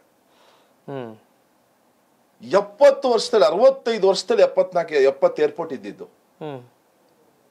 ಟ್ರಾನ್ಸ್ಪೋರ್ಟೇಷನ್ ಬರೀ ಹಿಂದೆ ಯು ಪಿ ಎ ಸರ್ಕಾರದಲ್ಲಿ ಹನ್ನೊಂದು ಕಿಲೋಮೀಟರ್ ಪರ್ ಡೇ ಇದ್ದಿದ್ದು ಇವತ್ತು ಮೂವತ್ತೇಳು ಕಿಲೋಮೀಟರ್ ಪರ್ ಡೇ ಕನ್ಸ್ಟ್ರಕ್ಷನ್ ಆಗ್ತಾ ಇದೆ. In inland roadways in sorry inland waterways ನಮ್ಮ ನದಿಗಳನ್ನ ಹಾಗೂ ಕ್ಯಾನಲ್ಗಳನ್ನ ಟ್ರಾನ್ಸ್ಪೋರ್ಟ್ಗೋಸ್ಕರ ಸರಕುಗಳನ್ನ ಒಂದು ಜಾಗದಿಂದ ಇನ್ನೊಂದು ಜಾಗಕ್ಕೆ ತಗೊಂಡೋಗಕ್ಕೆ ಮಾಡುವಂತ ಪ್ರಯತ್ನದ ಆಲೋಚನೆಯೇ ಇರ್ಲಿಲ್ಲ ಯಾರಿಗೂ. ಅಂತ ಒಂದು ಆಲೋಚನೆ ನಮ್ಮ ನರೇಂದ್ರ ಮೋದಿ ಅವರು ತಂದ್ರು. ಇನ್ನು ಮೇನ್ ಸ್ಟ್ರೀಮಿಗೆ ಪ್ರತಿಯೊಬ್ಬರೂ ಆರ್ಥಿಕತೆಯ ಮೇನ್ ಸ್ಟ್ರೀಮಿಗೆ ತರುವಂತ ಕೆಲಸ ಎಲ್ಲ ಆಗಿತ್ತು. ನ್ಯಾಷನಲೈಸೇಷನ್ ಆಯ್ತು. ಆದ್ರೆ ಜನಧನ್ ಯೋಜನೆಯಲ್ಲಿ ಕೋಟ್ಯಾಂತರ ಅಕೌಂಟ್ಗಳು ಓಪನ್ ಆದವು. ಏನ್ ಏನ್- ಏನ್ ಪ್ರಯೋಜನ ಆಯ್ತು ಅದರಿಂದ? ಹಾ ನೋಡಿ. ಈಗ ನೋಡಿ ಡೈರೆಕ್ಟ್ ಬೆನಿಫಿಟ್ ಟ್ರಾನ್ಸ್ಫರ್ ಏನು ಬೇಡ ರೈತ ಸಮ್ಮಾನ ನಿಧಿಯಲ್ಲಿ ಬರೀ ನಮ್ಮ ಬೇಲೂರಿನಲ್ಲಿ ನಲವತ್ತೆರಡು ಸಾವಿರ ರೈತರಿಗೆ ಡೈರೆಕ್ಟ್ ಆಗಿ ವರ್ಷಕ್ಕೆ ಕೇಂದ್ರದಿಂದ ಆರು ಸಾವಿರ ರಾಜ್ಯದಿಂದ ನಾಲ್ಕು ಸಾವಿರ ಹತ್ತು ಸಾವಿರ ರೂಪಾಯಿ ಡೈರೆಕ್ಟ್ ಆಗಿ ಹೋಗಿ ಬೀಳ್ತಾ ಇದೆ. ವಿದೌಟ್ ಅ ಮಿಡಲ್ ಮ್ಯಾನ್ ಏನು ಡಿಜಿಟಲ್ ಡಿಜಿಟಲ್ ಡಿಜಿಟಲ್ ಇದರಲ್ಲಿ ಏನಪ್ಪಾ ಕಾಮರ್ಸ್ ಅಲ್ಲಿ ಹಾಸ್ಯ ಮಾಡಿದ್ರು ಎಲ್ಲ ಅಪೋಸಿಷನ್ ಅವರು. ಯು ಪಿ ಐ ಅಲ್ಲೇ ಏನಪ್ಪ ಯು ಪಿ ಐ ಕಾರ್ಡ್ ಅಂತ ಮಾಡ್ತಿದ್ದಾರೆ ಈ ಫೋನ್ ಪೇ ಅಂತ ಮಾಡ್ತಿದ್ದಾರೆ ಇವೆಲ್ಲ ಎಲ್ಲಿ ನಡೀತಾವೆ ಅಂತ. ಇವತ್ತು we are one of the highest digital transaction ಮಾಡ್ತಾ ಇರುವಂತ ದೇಶಗಳಲ್ಲಿ ಹೈಯೆಸ್ಟ್ ಇಸ್ ಇನ್ ಇಂಡಿಯಾ ಒಬ್ಬ ನೀವು ಎಳ್ನೀರ್ ಕುದಿಯಕ್ಕೆ ಹೋಗಿ ಕುಡಿಯಕ್ ಹೋದ್ರು ಅಲ್ಲಿ ನೀವು ಫೋನ್ ಪೇ ವ್ಯವಸ್ಥೆ ಇದೆ ಇವತ್ತು. ಅದು ಒಂದು ಈಸ್ ಆಫ್ ಬಿಸ್ನೆಸ್ ಆಯ್ತು. ನೋಡಿ ಚಿಕ್ಕದನ ಇದು ನಮಗ್ ಚಿಕ್ಕದು ಅಂತ ಅನ್ನಿಸ್ಬೋದು. ಬಟ್ ಆದ್ರೆ ಹಿಂದೆ ಪಾಪ ಒಬ್ಬ ಎಳ್ನೀರ್ ಮಾನವನು ಒಬ್ಬ ಚಪ್ಪಲಿ ಅಂಗಡಿ ಇಟ್ಕೊಂಡಿರೋನು ಒಬ್ಬ ಗುಜರಿ ಅಂಗಡಿ ಇಟ್ಕೊಂಡಿರೋನು ಅವನು ಹೋಗ್ಬಿಟ್ಟು ಒಬ್ಬ ಆಟೋ ಆಟೋದವನು ಅವ್ನು ಹೋಗಿ ಒಂದು ಲೋನ್ ತಗೊಬೇಕು ಅಂದ್ರೆ ಅವನಿಗೆ ಬ್ಯಾಂಕ್ ಕ್ರೆಡಿಟ್ ಒಂದು ಬ್ಯಾಂಕ್ ಹಿಸ್ಟ್ರಿ ಇರ್ತಿರ್ಲಿಲ್ಲ. ಇವತ್ತು ಈ ಫೋನ್ ಪೇ ಮೂಲಕ ಅವನ ಬ್ಯಾಂಕ್ ಹಿಸ್ಟ್ರಿ ಬಂದಿದೆ. ಒಬ್ಬ ಬ್ಯಾಂಕಿಗೆ ಹೋಗಿ ಒಂದು ಸಾಲ ತಗೊಬಹುದು ಯಾರೋ ಒಬ್ಬ ಈ ದೊಡ್ಡ ದೊಡ್ಡ ಈ ಚಕ್ರ ಬಡ್ಡಿ ಕೊಡೋ ಅಂತ ಹತ್ತು ಪರ್ಸೆಂಟ್ ಆರು ಪರ್ಸೆಂಟ್ ಕೊಡೋ ಅಂತ ಸಾಲಗಾರ ಹತ್ರ ಹೋಗ್ತಾ ಇದ್ರಲ್ಲ ಅದೆಲ್ಲ ನಿಂತಿದೆ ಇವತ್ತು. ಇವತ್ತು ಬ್ಯಾಂಕಿಂಗ್ ವ್ಯವಸ್ಥೆ ಒಳಗೆ ಬಂದ್ಬಿಟ್ರು ಇವರೆಲ್ಲರೂ. ಅಂದ್ರೆ ಅವ್ರ ಹಣ ಅವ್ರ ಅಕೌಂಟ್ ಹಾಕ್ಸ್ಕತ್ತಾರ. ನಿಮ್ ಸಾಧನೆ ಏನಲ್ಲಿ ಅಂತ. ಅಕೌಂಟ್ ಮಾಡಿಸಿದ್ದೆ ಸಾಧನೆ ಅಂತ ಅಲ್ಲಲ್ಲ ನಾವು ಥ್ರೂ ದ ಅಕೌಂಟ್ ಏನೇನು ಗವರ್ಮೆಂಟ್ ಬೆನಿಫಿಟ್ಸ್ ಅನ್ನ ಒಬ್ಬ ಮಧ್ಯವರ್ತಿ ಇಲ್ದಲೇ ಹೋಗ್ತಾ ಇದೆಯಲ್ಲ? ಹಿಂದೆ ಒಬ್ಬ ಪ್ರಧಾನಮಂತ್ರಿ ಇದ್ದ ನಮ್ಮ ಕಾಂಗ್ರೆಸ್ಸಿನ ಒಬ್ರು ಪ್ರಧಾನಮಂತ್ರಿ ಅಲ್ಲಿ ಒಂದ್ ರೂಪಾಯಿ ಹಾಕಿದ್ರೆ ಇಲ್ಲಿ ಬರೀ ಇಪ್ಪತ್ತೈದು ಪೈಸೆ ಬರುತ್ತಾ ಅಂತ ಹೇಳ್ತಾ ಬರುತ್ತೆ ಅಂತ ಹೇಳ್ತಾ ಇದ್ರು. ಈ ನಲವತ್ತು ಪಾರದರ್ಶಕ ತರೋ ವಿಚಾರದಲ್ಲಿ ಸಕ್ಸಸ್ ಆಗಿದೆ. ಸಕ್ಸಸ್ ಆಗ್ತಾ ಇದೆ. ಬಟ್ ಇನ್ನೊಂದು ಕಾಂಗ್ರೆಸ್ ಬಹು ಬಹುದೊಡ್ಡ ಆರೋಪ ಅಂದ್ರೆ ಅವರು ಹೇಳ್ತಾರೆ ಎಲ್ಲರ ಅಕೌಂಟಿಗೆ ಸ್ವಿಸ್ ಬ್ಯಾಂಕ್ ಅಕೌಂಟ್ ಹಣವನ್ನು ವಾಪಸ್ ತಂದ್ರೆ ಎಲ್ಲರ ಅಕೌಂಟ್ಗೆ ಹದಿನೈದು ಲಕ್ಷವನ್ನ ಹಾಕಬಹುದು. ಅಂದ್ರೆ ಹಾಕುವಷ್ಟು ಹಣ ಇದೆ ಅನ್ನೋ ಒಂದು ಕಂಪ್ಯಾರಿಸನ್ ಕೊಟ್ಟಿದ್ರಿ. ಈಗ ಅವ್ರು ಕೇಳ್ತವ್ರೆ ಹಾಕ್ಬೋದಾಗಿತ್ತು ಅಂತ. ನೀವು ಹಾಕ್ಲಿಲ್ಲ ಇಲ್ಲಿ ಹಾಕ್ಲಿಲ್ಲ ಮೋಸ ಮಾಡ್ತಿದ್ದೀರಾ ಅಂತ. ಅದಕ್ಕೇನು ಉತ್ತರ ಕೊಡ್ತೀರಿ ತಾವು? ಅಲ್ಲ ನೋಡಿ. ಎಷ್ಟು ಸ್ವಿಸ್ ಬ್ಯಾಂಕಿನ ಮೇ ಸ್ವಿಸ್ ಬ್ಯಾಂಕ್ ಅಲ್ಲಿ ಎಷ್ಟು ಜನ ಇವ್ರುಗಳು ಇಲ್ಲಿ ಫ್ರಾಡ್ ಮಾಡಿ ಹೋಗಿದ್ದಾರೆ ಅನ್ನೋದ್ರ ಮೇಲೆ ಹೇಳಿದ್ರೆ ಹೊರತು ಅದನ್ನ ಒಂದು ಆ, ದಾರಿ ತಪ್ಪಿಸುವ ಒಂದು ರೀತಿಯಲ್ಲಿ ಅವರು ಬಿಂಬಿಸ್ತಾ ಇದ್ದಾರೆ. ಅಂದ್ರೆ ಆ, ಹೇಳ್ತಾ ಇದ್ದಿದ್ದು ಅಷ್ಟೇನೆ. ಆದ್ರೆ ನೀವು ನೋಡಿದ್ರೆ ಫ್ಯೂಜಿಟಿವ್ ಫೈನಾನ್ಷಿಯಲ್ ಫ್ರಾಡ್ ಫ್ಯುಜಿಟಿವ್ಸ್ಗಳ ವಿರುದ್ಧವಾಗಿ ಅವರ ಎಸೆಟ್ಸ್ ಗಳನ್ನ ಲಿಕ್ವಿಡೇಟ್ ಮಾಡಕ್ಕೆ ಒಂದು ಲಾನೇ ಇರಲಿಲ್ಲ. ಲಾ ತಂದಿದ್ ಯಾರ ಸಮಯದಲ್ಲಿ? ನರೇಂದ್ರ ಮೋದಿ ಅವ್ರ ಸಮಯದಲ್ಲಿ. ಇವತ್ತು ಎಷ್ಟೋ ಜನಕ್ಕೆ ನಾನು ಅವರವರ ಹೆಸರುಗಳು ಹೇಳಕ್ ಹೋಗಲ್ಲ. ಯಾಕಂದ್ರೆ ಮೇಜರ್ ಆಫ್ ದಟ್ ಇಸ್ ಕಾನೂನಿನ ಕಟಕಟ್ಟೆ ಒಳಗೆ ಇರೋದ್ರಿಂದ ಅವರ ಹೆಸರುಗಳನ್ನ ಹೇಳಕ್ ಹೋಗಲ್ಲ. ನೀವು ನಮ್ಮ ಮೀಡಿಯಾದಲ್ಲಿ ಎಲ್ಲರದು ಸಿಗುತ್ತೆ. ಎಷ್ಟು ಜನ ಮೇಲೆ ಕೇಸ್ ಆಗಿದೆ ಎಷ್ಟು ಜನ ಫ್ಲೈಟ್ ಹತ್ತಕ್ ಹೋದ್ರು ಫ್ಲೈಟ್ ಹತ್ತಿ ಫ್ಲೈಟ್ ಇಂದಾನೆ ವಾಪಸ್ ಕರ್ಕೊಂಬಂದ್ ಕೂರ್ಸಿದ್ರು. ಆಮೇಲೆ ಈಗ ಮಲ್ಯ ಇರ್ಬೋದು ನೀರವ್ ಮೋದಿ ಇರ್ಬೋದು ಅವ್ರ ಎಸೆಟ್ಗಳು ಆಕ್ಷನ್ ಆಗಿದಾವೆ. ಫ್ಯೂಜಿಟಿವ್ ಎಸೆಟ್ಸ್ ಅಂತ ಕ್ರಿಯೇ ಫ್ಯೂಜಿಟಿವ್ ಎಸೆಟ್ಸ್ ಗಳನ್ನ ಆಕ್ಷನ್ ಮಾಡೋ ಅಂತ ಒಂದು ಶಕ್ತಿ ಕಾನೂನಾತ್ಮಕವಾದ ಶಕ್ತಿ ಸರ್ಕಾರದಲ್ಲಿ ಇರಲಿಲ್ಲ. ಇವತ್ತು ಇಡಿ ಇಂದ ಇವ್ರದೆಲ್ಲ ಎಷ್ಟೆಷ್ಟು ಆಕ್ಷನ್ ಆಗಿದಾವೆ, ಎಷ್ಟು ಎಷ್ಟು ಕೋಟಿ ಆಗಿದಾವೆ ಅಂತ ನೀವು ನೋಡಿದ್ರೆ ಅದರಲ್ಲಿ ಕ್ಲೀನ್ ಆಗಿ ಅರ್ಥ ಆಗುತ್ತೆ ಇಂಟೆಂಟ್ ಎಷ್ಟು ಸ್ಟ್ರಾಂಗ್ ಆಗಿದೆ ಅಂತ. ಸೊ ಒಟ್ಟಾರೆಗೆ ಕಾಂಗ್ರೆಸ್ ಕಾಲದಲ್ಲಿ ಎಲ್ಲ ಕೂಡ ಬಿಟ್ಬಿಟ್ಟಿದ್ರು. ಇವತ್ತು ಏಳು ವರ್ಷಗಳಲ್ಲಿ ಏರ್ಪೋರ್ಟ್ಗಳನ್ನ ಮಾಡಿದ್ದಾರೆ. ಈ ತರ ಪಾರದರ್ಶಕವಾಗಿ ಹಣ ಖಾತೆಗೆ ಹೋಗೋದ್ರಿಂದ ಅವರೆಲ್ಲರೂ ಕೂಡ ಫಿನಾನ್ಷಿಯಲಿ ಬ್ಯಾಂಕಿಂಗ್ ವಿಚಾರದಲ್ಲಿ ಸಬಲರಾಗಿದ್ದಾರೆ. ಸೊ ಇದೆಲ್ಲವೂ ಕೂಡ ನಾವು ಮಾಡಿದ್ದೀವಿ ಅನ್ನೋದನ್ನ ನೀವು ಸ್ಪಷ್ಟವಾಗಿ ಹೇಳ್ತಾ ಇದ್ದೀರಿ. ಮತ್ತೊಂದು ವಿಚಾರ ಅಂತಂದ್ರೆ ಈಗ ಬೆಲೆ ಏರಿಕೆ, ಈ ಸಿಲಿಂಡರ್ ದರ ಆಗ್ಬೋದು, ಇವೆಲ್ಲ ಕೂಡ ಏರಿಕೆ ನೆನೆ ಕೂಡ ಒಂದು ಐವತ್ತು ರೂಪಾಯಿ ಜಾಸ್ತಿ ಆಗಿತ್ತು. ಸೊ ಇದ್ರ ಬಗ್ಗೆ ತಾವೇನು ಹೇಳ್ತೀರಿ? ನೋಡಿ ಭಾರಿ ಒಳ್ಳೆ ಪ್ರಶ್ನೆ. ಯಾಕೆಂದ್ರೆ ಈ ಪ್ರಶ್ನೆಗೆ ನಾನು ಅನೇಕ ಕಡೆ ಉತ್ತರ ಕೊಡ ಅಂತ ಆಸಕ್ತಿ ಇತ್ತು. ನನ್- ನನ್- ನನಗೆ ನಾನು ಯಾಕೆ ಕೇಳ್ತಾ ಇದ್ದೀನಿ ಅಂದ್ರೆ ಈ ಎಲ್ಲಾ ಪ್ರಶ್ನೆಗಳಿಗೆ ಉತ್ತರ ಕೊಡುವಂತ ಕೆಪಾಸಿಟಿ ನಿಮ್ಗಿದೆ ಸಾಮರ್ಥ್ಯ ನಿಮ್ಗಿದೆ ಅಂತ ಪ್ರಶ್ನೆ ಕೇಳ್ತಾ ಇದ್ದೀನಿ ಡೆಫಿನೆಟ್ಲಿ ಅದು ಸರಿಯಾದ ಉತ್ತರ ಕೂಡ ಕೊಡ್ತೀರಿ ಅಂತ. ಡೆಫಿನೆಟ್ಲಿ ತುಂಬಾ ಧನ್ಯವಾದಗಳು. ನೋಡಿ ನಾವು ಒಂದು ಚಿಕ್ಕ ಉದಾಹರಣೆಯಲ್ಲಿ ಈ ಒಂದು ಪ್ರಶ್ನೆಗೆ ಉತ್ತರವನ್ನು ಕೊಡಕ್ ಶುರು ಮಾಡ್ತೀನಿ ಓಕೆ. ನಮ್ಮ ಮನೆಗೆ ಯಾವ್ದಾರ ಒಂದು ತರಕಾರಿ ಅನಿವಾರ್ಯ ಅಂತ ಅನ್ಕೊಳ್ಳಿ. ಫಾರ್ ಎಕ್ಸಾಂಪಲ್ ಈರುಳ್ಳಿನೇ. ನಾವು ಈರುಳ್ಳಿ ಇಲ್ದಲ್ಲ ಅಡಿಗೆನೆ ಮಾಡಲ್ಲಪ್ಪ. ಆಯ್ತಾ? ಆದ್ರೆ ಆ ಈರು- ಈರುಳ್ಳಿಯ ಬೆಲೆ ಒಂದು ಎಕ್ಸ್ ಇದ್ದಿದ್ದು ಎಕ್ಸ್ ಇಂಟು ಟೆನ್ ಆಗೋಗುತ್ತೆ. ನಿಮಗೆ ಅಷ್ಟು ಉತ್ ಉತ್ಪಾದನೆ ಮಾಡೋ ಅಂತ ಶಕ್ತಿನೂ ಇರಲ್ಲ. ಈ ಇಡೀ ಈರುಳ್ಳಿನ ನೀವು ಯಾವುದೋ ಬೇರೆ ದೇಶದಿಂದ ತರಿಸ್ತಾ ಇದ್ದೀರಾ. ಒಬ್ಬ ಕಾಮನ್ ಸೆನ್ಸ್ ಇರೋನ್ ಏನ್ ಮಾಡ್ತಾನೆ? ಒಂದೋ ಈರುಳ್ಳಿಯ ಪರ್ಯಾಯ ಹುಡುಕ್ತಾನೆ. ಇಲ್ಲ ಅಂದ್ರೆ ಈರುಳ್ಳಿನ ಇಲ್ಲೇ ಬೆಳೆಸೋ ಅಂತ ಪ್ರಯತ್ನ ಮಾಡ್ತಾನೆ. ಇಲ್ಲ ಅಂದ್ರೆ ಈರುಳ್ಳಿನ ಕಮ್ಮಿ ಬಳಸೋದು ಯಾವ ಯಾವ್ದ್ರಲ್ಲಿ ಕಮ್ಮಿ ಬಳಸ್ಬೋದು ಅಂತ ಪ್ರಯತ್ನ ಪಡ್ತಾನೆ. ಓಕೆ ಕಾಮನ್ ಸೆನ್ಸ್ ಲ್ಯಾಂಗ್ವೇಜ್ ಅಲ್ಲಿ ಜನರಿಗೆ ಅರ್ಥ ಆಗೋಕ್ಕೋಸ್ಕರ ಹೇಳ್ತಾ ಇದ್ದೀನಿ. ಅರವತ್ತೈದು ವರ್ಷದಿಂದ ಎಲ್ಲರಿಗೂ ಗೊತ್ತಿದ್ದಂತ ವಿಚಾರ ನಮ್ಮಲ್ಲಿ ಆಯಿಲ್ ರಿಸರ್ವ್ಸ್ ಇಲ್ಲ. ಹೌದು. ನಾವು ಆಚೆ ಕಡೆಯಿಂದನೇ ತಗೊಬೇಕು ಅನ್ನೋದು ಗೊತ್ತಿತ್ತು ಇವರಿಗೆ ಪ್ರಯತ್ನ ಏನ್ ಮಾಡಿದ್ರು? ಇವೆಲ್ಲದಕ್ಕೂ ಪರ್ಯಾಯ ಹುಡಿಯಕ್ಕೆ ಹುಡುಕಕ್ಕೆ ಏನ್ ಪ್ರಯತ್ನ ಮಾಡಿದ್ರು? ನೋಡಿ ಸಿಂಪಲ್ ಆಗಿ ನಮ್ ವಾಜಪೇಯಿ ಅವ್ರು ಬಂದ ಮೇಲೆ ethanol blending of ethanol in diesel and petrol ethanol blending ಅನ್ನ ಒಂದು ಏಟ್ ಪರ್ಸೆಂಟ್ ತನಕ ತಂದಿದ್ರು. ಅಟ್ಲೀಸ್ಟ್ ಆ ಏಟ್ ಪರ್ಸೆಂಟ್ ಆಫ್ ಏನು ಆಯಿಲ್ ಮೇಲೆ ಬೀಳ್ತಾ ಇದ್ದಿದ್ದಂತ ನಮ್ಮ ಒತ್ತಡ ಕಾಸ್ಟ್ ಅದು ಕಮ್ಮಿ ಆಗಕ್ ಕಮ್ಮಿ ಆಗಕ್ ಶುರುವಾಗಿತ್ತು. ಮತ್ತೆ ಮಧ್ಯದಲ್ಲಿ ಇವ್ರು ಬಂದ್ರು ಅದು ಟೋಟಲಿ ಟೂ ಪರ್ಸೆಂಟ್ ತ್ರೀ ಪರ್ಸೆಂಟಿಗೆ ತಂದ್ರು. ಈಗ ಹದಿನಾಲ್ಕು ಪರ್ಸೆಂಟಿಗೆ ತಗೊಂಡೋಗಿದ್ದಾರೆ ಇಪ್ಪತ್ತು ಪರ್ಸೆಂಟ್ ತನಕ ತಗೊಂಡೋಗ್ಬೇಕು ಅಂತ ಇದೆ. ಬ್ರೆಜಿಲ್ ಅಂತ ದೇಶದಲ್ಲಿ ಇಪ್ಪತ್ತರಕ್ಕಿಂತ ಮೇಲೆ ಪರ್ಸೆಂಟೇಜ್ ಬ್ಲೆಂಡಿಂಗ್ ಆಗುತ್ತೆ. ಸೊ ಅಷ್ಟು ಟ್ವೆಂಟಿ ಪರ್ಸೆಂಟ್ ಅಷ್ಟು ಡಿಪೆಂಡೆಬಿಲಿಟಿ ಆನ್ ಕ್ರೂಡ್ ಆಯಿಲ್ ಕಮ್ಮಿ ಆಗುತ್ತೆ. ಓಕೆ ಇನ್ನು ನೀವು ವಿಚಾರ ಮಾಡಿದ್ರೆ ಈ ಪೆಟ್ರೋಲ್ ಮತ್ತೆ ಡೀಸೆಲ್ ಉಪಯೋಗ ಆಗೋದು ಯಾವುದಕ್ಕೆ? ಒಂದು ಮೋಟರ್ಸ್ ಏನ್ ನಮ್ಮ ಸಾರಿಗೆ ವ್ಯವಸ್ಥೆಗೆ.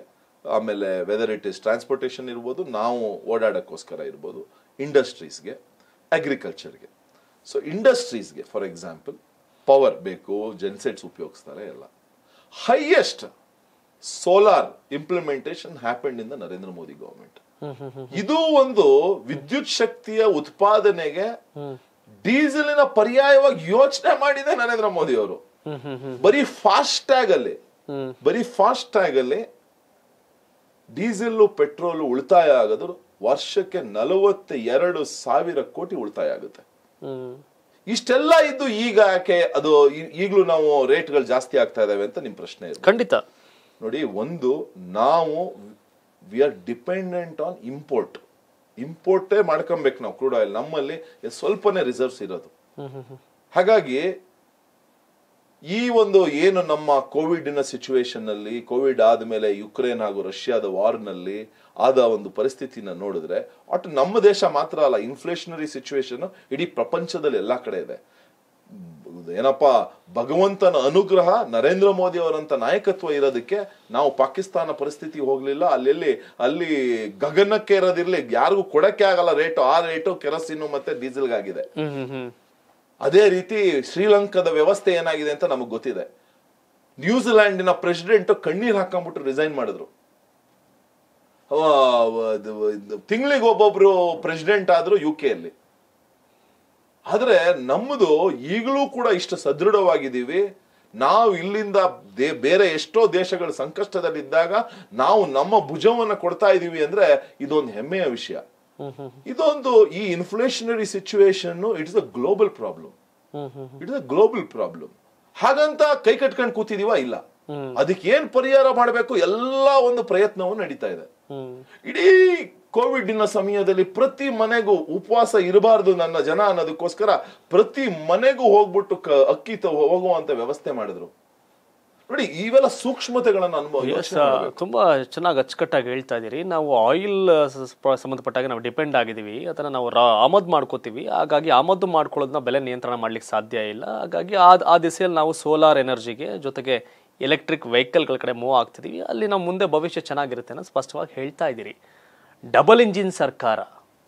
ಭಾಳ ಕೇಳಿ ಕಿವಿ ಕೇಳಿಸ್ಕೊತಾ ಇರ್ತಾರೆ ಡಬಲ್ ಇಂಜಿನ್ ಅಂತ ನಾನು ಕಾಣೋದು ಒಂದೇ engine state government B J P ಸರ್ಕಾರ ಸತ್ತೋಗೈತೆ ಸಂತೋಷ್ ಅವರೇ. ಹೌದಾ? ನೋಡಿ ಒಂದು ಬದುಕಿದೆಯಾ ಸರ್ಕಾರ? ಅಲ್ಲ ನಾನು ಹ್ಮ್. ಒಂದು ಏನಪ್ಪಾ ಅಂದ್ರೆ ಈಗ ಈಗಿನ ಸರ್ಕಾರ ಹ್ಮ್. ನಾವು ಹಂಡ್ರೆಡ್ ಪರ್ಸೆಂಟ್ ನಾವು ಬಹುಮತದಿಂದ ಇನಿಷಿಯಲಿನೇ ಬಂದಂತ ಸರ್ಕಾರ ಅಲ್ಲ. ಓಕೆ. ಆ, ಬೇರೆಯವರೆಲ್ಲ ಬಂದ್ ನಮ್ಮ ಐಡಿಯಾಲಜಿನ ಒಂದು ಇಷ್ಟಪಟ್ಟು ನಮ್ಮ ಪಕ್ಷಕ್ಕೆ ಜೊತೆಗೆ ಸೇರಿ ಆಮೇಲೆ ಸರ್ಕಾರ ಮಾಡಿದ್ವಿ ನಾವು. ಅದರಲ್ಲಿ ಸ್ವಲ್ಪ ಟೈಮ್ ಗ್ಯಾಪ್ ಎಲ್ಲ ಬಂತು. ಒಂದು ಸ್ಪಷ್ಟ ಬಹುಮತದ ಸರ್ಕಾರ ಒಂದು ದೊಡ್ಡ ಮಟ್ಟದ ಬದಲಾವಣೆಯನ್ನ ತೋರಿಸ್ಬೋದಿತ್ತು. ಹಾಗಂತ ನಮ್ಮ ಬೊಮ್ಮಾಯಿಯವರ ಸರ್ಕಾರ ಏನು ಮಾಡಿಲ್ಲ ಅಂತಾನು ಹೇಳಕ್ಕಾಗಲ್ಲ.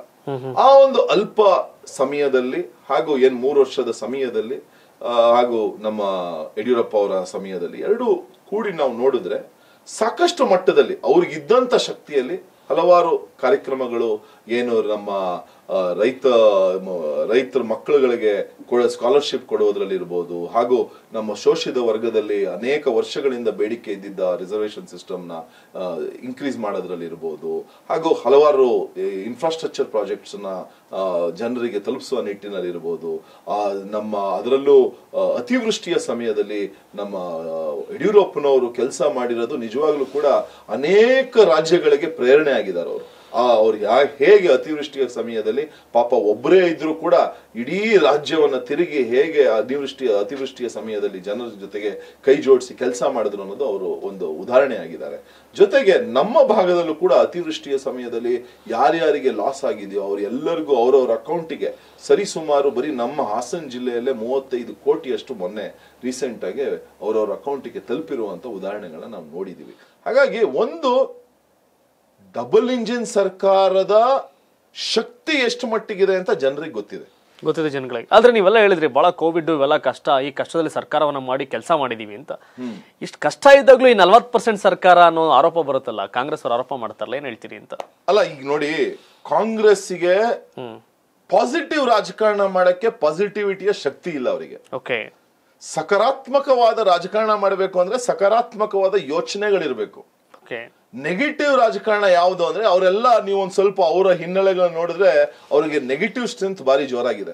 ಆ ನೆಗೆಟಿವ್ ಸ್ಟ್ರೆಂತ್ನ ಇಟ್ಕೊಂಡು ಸುಮ್ನೆ ಶೂಟ್ ಅಂಡ್ ಸ್ಕೂಟ್ ಒಬ್ರ ಮೇಲೆ ಆ ಆರೋಪ ಹಾಕಬಹುದು ನಮ್ಮ ಕಾನೂನಿನ ವ್ಯವಸ್ಥೆಯನ್ನ ತಗೊಂಡು ಕಾನೂನಿನ ವ್ಯವಸ್ಥೆಯನ್ನ ಉಪಯೋಗಿಸಿ ಅಂತವ್ರನ್ನ ಕಟಕಟೆಯಲ್ಲಿ ನಿಲ್ಸುವಂತ ಕೆಲಸ ಮಾಡಬಹುದಿತ್ತಲ್ಲ ಆಪೋಸಿಷನ್ ಪಾರ್ಟಿಯಾಗಿ ಬರೀ ಆರೋಪಗಳ ಮೇಲೆ ಎಲೆಕ್ಷನ್ನ ಗೆಲ್ಲಕ್ಕಾಗಲ್ಲ. ಆರೋಪಗಳನ್ನ ರುಜುವಾತ್ ಮಾಡಬೇಕು. ಆರೋಪಗಳನ್ನ ರುಜುವಾತ್ ಮಾಡಬೇಕು. ಇವ್ರು ಯಾರೋ ಒಬ್ರು ರ್ಯಾಡೋ ವಾಚ್ ಹಾಕೊಂಡು ಬೇರೆಯವ್ರ ಮೇಲೆ ಆರೋಪ ಮಾಡಬೇಕಾದ್ರೆ ನಾನ್ ಸೋಷಲಿಸ್ಟ್ ಅಂತ ಹೇಳ್ಕೊಂಡು ಇನ್ನೊಬ್ಬ ಮೇಲೆ ಆರೋಪ ಮಾಡ್ಬೇಕಾದ್ರೆ ಕೈ ತೋರಿಸ್ಬೇಕಾದ್ರೆ ಕೈಯಲ್ಲಿ ರ್ಯಾಡೋ ವಾಚ್ ಕಂಡ್ರೆ ಅವ್ರು ಎಷ್ಟು ಸೋಷಲಿಸ್ಟ್ ಅಂತ ಜನರಿಗೆ ಬುದ್ಧಿವಂತರಿದ್ದಾರೆ ಗೊತ್ತಾಗುತ್ತೆ. ಸಿದ್ದರಾಮಯ್ಯನವ್ರ ಬಗ್ಗೆ ಹೇಳ್ತಾ ಇದ್ದೀರಿ. ಓಕೆ, ಹಾಸನ ವಿಧಾನಸಭಾ ಕ್ಷೇತ್ರ, ಹಾಸನ ಜಿಲ್ಲೆಯಲ್ಲಿ ಏಳು ವಿಧಾನಸಭಾ ಕ್ಷೇತ್ರ. ಸೊ ಬಿಜೆಪಿ ಅವ್ರ ಲೆಕ್ಕಾಚಾರ ಏನು? ಈ ಸರಿ ಎಷ್ಟು ಜನ ಗೆಲ್ಲಬೇಕು ಅಂತಿದ್ದೀರಿ? ಏನ್ ಕತೆ? ನಮ್ಮನ್ನ ಪ್ರಯತ್ನ ಏಳಕ್ಕೆ ಏಳು ಗೆಲ್ಬೇಕು ಅಂತ ಆಸಕ್ತಿ. ಅದಾಗಲ್ಲ ಬಿಡಿ ಸದ್ಯಕ್ಕೆ.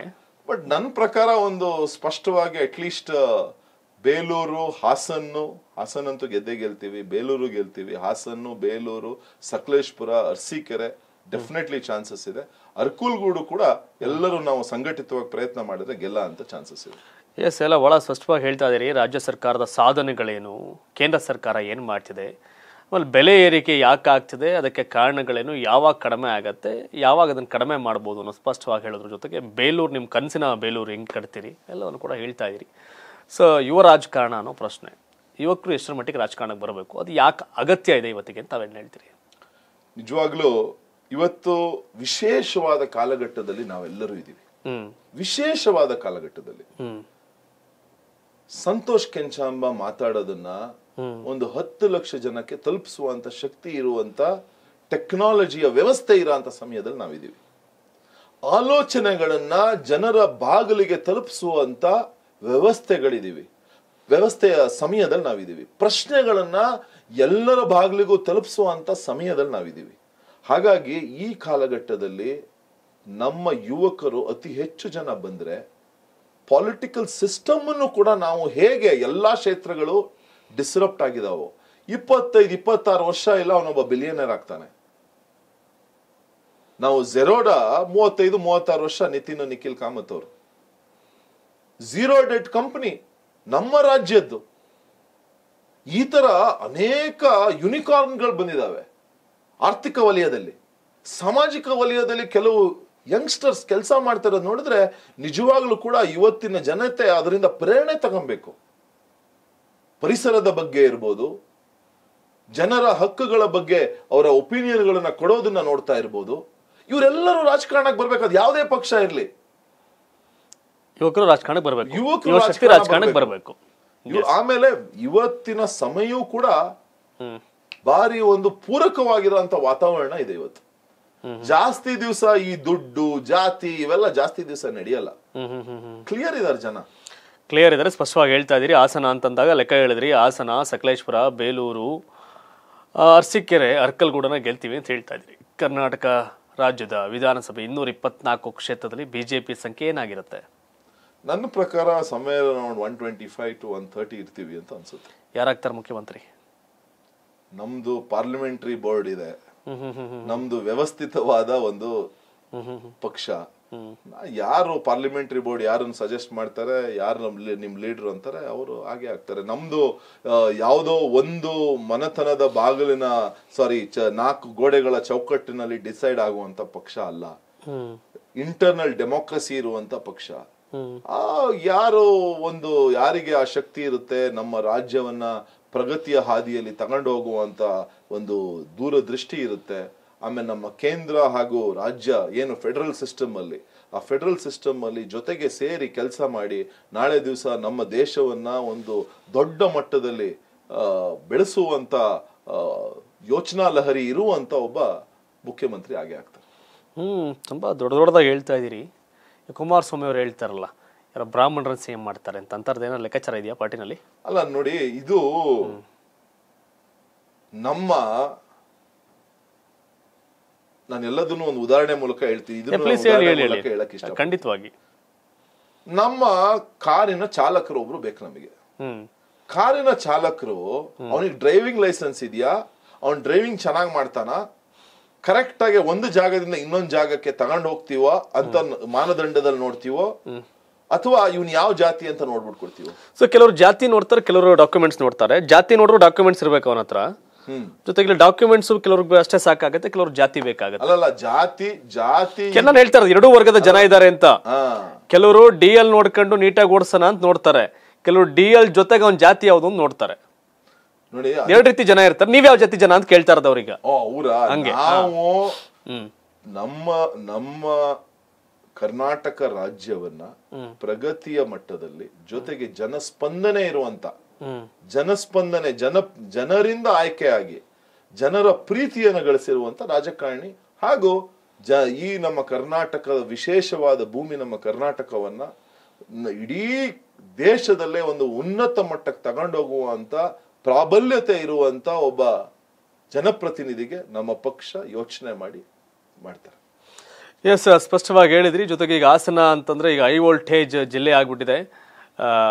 ಏನಿದೆ ಅಂದ್ರೆ ದೇವೇಗೌಡರ ಮನೆ ಫ್ಯಾಮಿಲಿ ಭದ್ರಕೋಟೆ ಅನ್ನೋದಿದೆ ಹಾಸನ. ಯಾಕಂದ್ರೆ ಏಳು ಕ್ಷೇತ್ರದಲ್ಲಿ ಹಾಸನ ವಿಧಾನಸಭಾ ಕ್ಷೇತ್ರ ಪ್ರೀತಮ್ ಗೌಡರು ಗೆದ್ದು ಬಿಟ್ಟರೆ ಇನ್ನೆಲ್ಲ ಜೆ ಡಿ ಎಸ್ ಗೆದ್ದಿತ್ತು. ಜೆ ಡಿ ಎಸ್ ಭದ್ರಕೋಟೆಯಾಗಿ ಉಳಿಯುತ್ತಾ ಅಂತ. ನೋಡಿ ನಮ್ಮ ದೇಶಕ್ಕೆ ಡೆಮೋಕ್ರೆಟಿಕ್ ಸಿಸ್ಟಮ್ ಬಂದು ಸುಮಾರು ವರ್ಷ ಆಯ್ತು. ರಾಜ ರಜವಾಡಗಳ ಜಾಗ ಅಲ್ಲ ಇದು. ನಾನಾದ್ಮೇಲೆ ನಮ್ಮ ಮಾಮ ನಮ್ಮ ಮಗ ನನ್ನ ಮಗ ಆದ್ಮೇಲೆ ನನ್ನ ಮೊಮ್ಮಗ. ಆರಿಸ್ಬೇಕಷ್ಟೇ ಅವನೇ ಅವನಿಗೆ ಅವನಿಗೆ ಶಕ್ತಿ ಇಲ್ಲಿ ಇಲ್ದಲೇ ಇರ್ಲಿ. ಅವನು ಅವನು ನಿಮ್ಮ ಕ್ಷೇತ್ರದ ರಾಜ ಅನ್ನೋದು ಅವೆಲ್ಲ ಮುಗ್ದೋಯ್ತು. ಐದು ವರ್ಷಕ್ಕೊಂದ್ಸಲಿ ಚುನಾವಣೆ ಆಗುತ್ತೆ. ಐದು ವರ್ಷಕ್ಕೊಂದ್ಸಲಿ ಚುನಾವಣೆ ಆಗುತ್ತೆ. ಆ ಚುನಾವಣೆಯಲ್ಲಿ ಜನರು ಯಾರು ಆರಿಸ್ತಾರೋ ಅವರೇ ಆಗೋದು. ಇವತ್ತು ನಾನೇ ಆಗ್ತೀನಿ ಅಂತ ಆ ಗರ್ವ ಯಾರಿಗಾರ ಇದ್ರೆ ಅದನ್ನ ಮುರಿಯೋ ಅಂತ ಶಕ್ತಿ ನಮ್ಮ ಮತದಾರರಲ್ಲಿದ್ದಾರೆ. ಮತದಾರರು ಪ್ರಬುದ್ಧರಿದ್ದಾರೆ. ಈ ರಾಜ ರಜವಾಡರ ಮನೋಸ್ಥಿತಿ ಉಳ್ಳವ್ರನ್ನ ನಮ್ಮದು, ಅದರಲ್ಲೂ ನಮ್ಮ ಕರ್ನಾಟಕ. ಯಾಕಂದ್ರೆ ಭಾರಿ ಪ್ರಬುದ್ಧತೆ ಇರುವಂತ ಈ ರಾಜ್ಯ ಇದು. ಇದನ್ನೆಲ್ಲ ಸಹಿಸೋದಿಲ್ಲ. ಅವನಲ್ಲಿ ನಿಜವಾಗ್ಲೂ ಜನ ಅನುರಾಗಿಯಾಗಿದ್ದಿ ಅವನಲ್ಲಿ ಆ ಒಂದು ಆಸ್, ಆ ಒಂದು ಯೋಚನೆಗಳಿದ್ದಿ. ಏನಪ್ಪಾ, ಪ್ಲಸ್ ಆ ಒಂದು ಇಂಟೆಲಿಜೆನ್ಸ್ ಇದ್ರೆ, ಏನು ಜನರಿಗೆ ಒಳಿತು ಮಾಡುವಂತ ಒಂದು ಯೋಚನೆಗಳಿದ್ರೆ ಡೆಫಿನೆಟ್ಲಿ ಅವನಿಗೆ, ಅವ್ರಿಗೆ ಸ್ಪಂದಿಸ್ತಾರೆ ಹೊರತು ಸುಮ್ಮನೆ ನಾವು ಹಿಂದೆ ನಮ್ಮ ಜಾಗ, ನಮ್ಮ ಜಾಗೀರ್ದಾರಿಗಳಲ್ಲ ಇವ್ಯಾವುವೆ. ಬಹಳ ಸ್ಪಷ್ಟವಾಗಿ ಹೇಳ್ತಾ ಇದೀರಿ ಪಾಳೆಗಾರಿಕೆ ಕಲ್ಚರ್ ಹೋಗ್ಬಿಟ್ಟಿದೆ ಪ್ರಜಾಪ್ರಭುತ್ವ ವ್ಯವಸ್ಥೆ ಇದೆ ಅಂತ. ನಾನು ಇದೇ ಜಾಗದಲ್ಲಿ ಕೂತ್ಕೊಂಡು ರವಿಕೃಷ್ಣ ರೆಡ್ಡಿ ಅವ್ರನ್ನ ಇಂಟರ್ ಸಂದರ್ಶನ ಮಾಡ್ತಿದ್ದೆ. ಒಳೆನರಸೀಪುರದಲ್ಲಿ ಅವ್ರ ಅವ್ರ ಮೇಲೆಲ್ಲ ಅಟ್ಯಾಕ್ ಆಗಿತ್ತು. ಸೊ ಎಲ್ಲಾ ಕಡೆ ಈಗ ಇಡೀ ರಾಜ್ಯದಲ್ಲಿ ಬಿಜೆಪಿ ಸರ್ಕಾರ ಇದ್ರೆ ಹಾಸನದಲ್ಲಿ ಮಾತ್ರ ಜೆ ಡಿ ಎಸ್ ಸರ್ಕಾರ ಇದೆ. ಅದರಲ್ಲೂ ಒಳೆನರಸೀಪುರ ಇನ್ನೂ ಕೂಡ ಪ್ರಜಾಪ್ರಭುತ್ವ ವ್ಯವಸ್ಥೆಗೆ ಇದಾಗ್ಲಿಲ್ಲ. ಅಲ್ಲಿನ್ನೂ ಪಾಳೆಗಾರಿಕೆ ರಾಜಕಾರಣ ನಡೀತಾ ಇದೆ ಅಂತ. ಸೊ ಇಷ್ಟೆಲ್ಲ ಹೇಳೋ ನೀವು ಅವೆಲ್ಲ ಇಲ್ಲ. ಪ್ರಜಾಪ್ರಭುತ್ವ ರಾಷ್ಟ್ರ ಅಂತ ಹೇಳ್ತಾ ಇದೀರಿ ರಾಜ್ಯ ಅಂತ ಹೇಳ್ತಾ ಇದೀರಿ ಯಾಕೆ ಒಳೆನರಸೀಪುರದಲ್ಲಿ ಸ್ಟ್ರಾಂಗ್ ಕ್ಯಾಂಡಿಡೇಟ್ ಆಗ್ತಾ ಇಲ್ಲ ಬಿಜೆಪಿ ಅವರು? ಯಾಕೆ ಪಕ್ಷ ಕಟ್ಟಿಲ್ಲ ಅಲ್ಲಿ ಅಂತ? ಅಲ್ಲ ಅದು ಈ ಪಕ್ಷ ಕಟ್ಟೋದು ಒಂದು ಆರ್ಗ್ಯಾನಿಕ್ ಪ್ರೋಸೆಸ್ ಆರ್ಗ್ಯಾನಿಕ್ ಪ್ರೋಸೆಸ್ ಆ ಆರ್ಗ್ಯಾನಿಕ್ ಪ್ರೋಸೆಸ್ ಸಂಘಟಿತವಾಗಿ ನಾವು ಎರಡೇ ಇಬ್ಬರೇ ಇದ್ದಿದ್ದ ಜ- ಪಕ್ಷ ಇವತ್ತು ಟ್ರಿಪಲ್ ಡಿಜಿಟ್ ದಾಟಿದೀವಿ. ಟ್ರಿಪಲ್ ಡಿಜಿಟ್ ದಾಟಿದೀವಿ. ಇಬ್ಬರೇ ಇಬ್ಬರಿದ್ದ ಪಕ್ಷ. ಹಾಗಾಗಿ it is an organic process ನಾವು ರಾಜಕಾರಣ ಅಭಿವೃದ್ಧಿಗೆ ಒಂದು ಅಸ್ತ್ರ. ಏನು electioneering politics is one part of the overall democratic democratic process but ನಮ್ಮ ಸಂಘಟನೆಯ ಆಯಾಮಗಳು ಅನೇಕ ಇದಾವೆ. ನಾವು ಮಾಡ್ತಾ ಇರ್ತೀವಿ. ಮಾಡ್ತಿರ್ತೀರಿ. ಸೊ ಬಹಳ ಸೌಂಡ್ ಆಗಲಿ ಹೇಳಿದೆ ಹಾಸನ ವಿಧಾನಸಭಾ ಕ್ಷೇತ್ರ. ಪ್ರೀತಮ್ ಗೌಡ್ರು ವರ್ಸಸ್ ದೇವೇಗೌಡರು ಫ್ಯಾಮಿಲಿ ಯಾರು ಯಾರು ಗೆಲ್ತಾರಲ್ಲಿ ಹಾಸನದಲ್ಲಿ? ನನಗೆ ನಂಬಿಕೆ ಇದೆ. ಪ್ರೀತಮ್ ಗೌಡ್ರು ಒಳ್ಳೆ ಕೆಲಸ ಮಾಡಿದ್ದಾರೆ.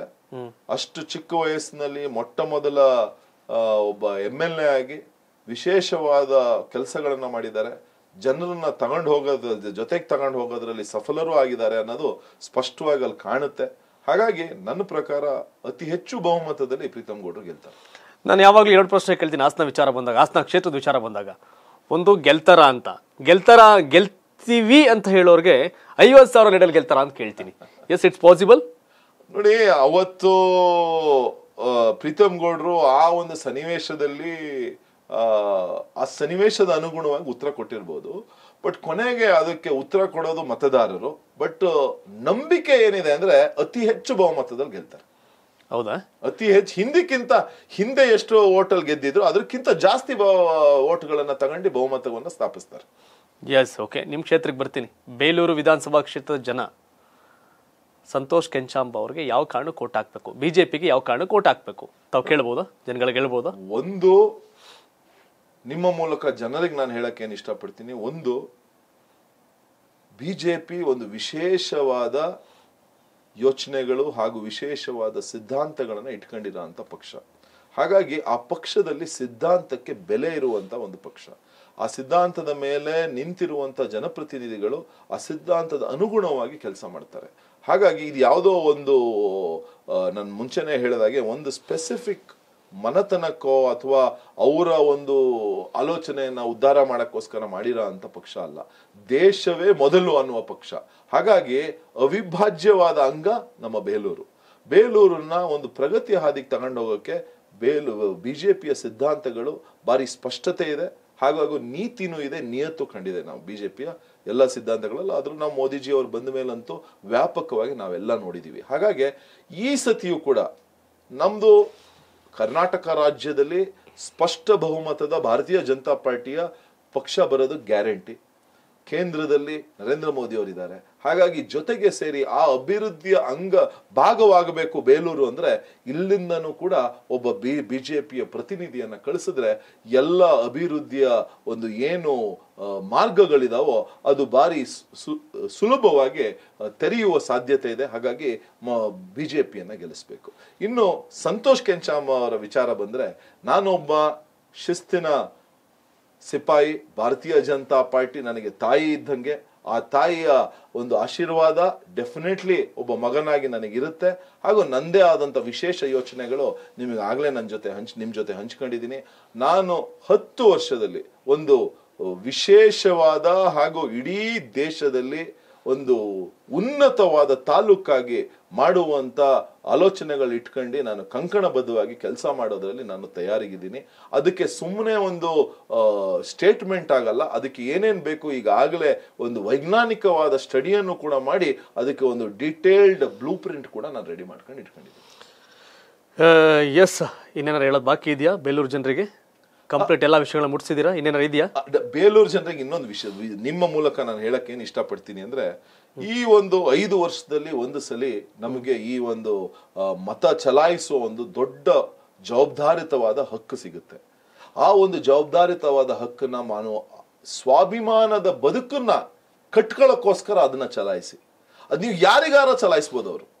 ಅದು ಯಾರಿಗಾರ ಚಲಾಯಿಸ್ಬೋದು. ಬಟ್ ಆದರೆ ನಾಳೆ ದಿವಸ ಐದು ವರ್ಷ ಪೂರ್ತಿ ನಾನು ಸ್ವಾಭಿಮಾನದ ಬದುಕನ್ನ ನಾನು ಬ, ನಾನು ಜೋಡಿಸ್ಕೊಬೋದಾ ನನಗೆ ಅನ್ನೋದನ್ನ ಯೋಚನೆಯನ್ನು ಇಟ್ಕೊಳ್ಳಿ.